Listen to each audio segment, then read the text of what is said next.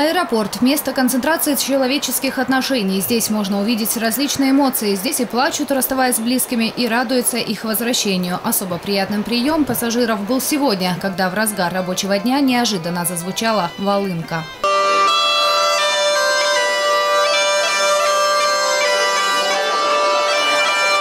После подключились и другие инструменты, образовав небольшой ансамбль. Играли профессиональные артисты.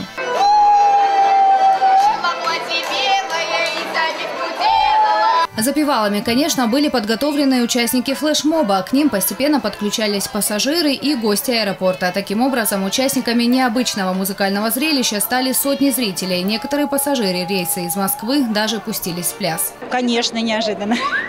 Но очень легко и по-простому, очень дружелюбно. Необычное такое выступление, такая встреча неожиданная.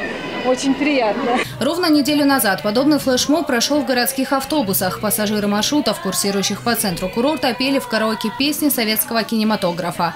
Такие акции проводятся в поддержку всемирных хоровых игр. Это очень крупное международное мероприятие. И то, что оно проводится сейчас здесь, в Сочи, это на самом деле очень большая гордость для нашего города.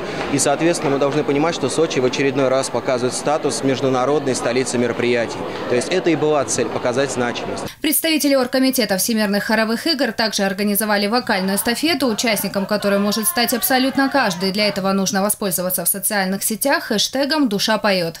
Организаторы уверяют, впереди еще немало сюрпризов. Татьяна Говоркова, Михаил Дубинин, телекомпания «ФКТ».